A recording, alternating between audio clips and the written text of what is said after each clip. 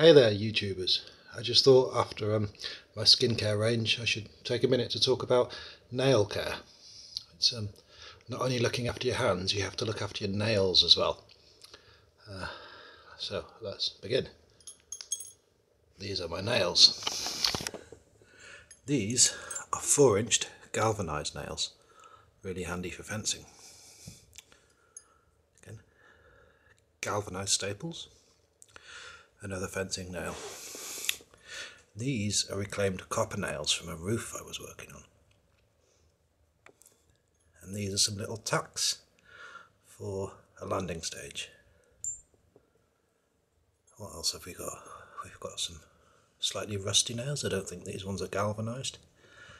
I should say the zinc on the galvanising dries your hands out. So if it dries your hands out, you can of course buy some of my products from my skincare range, my hand creams.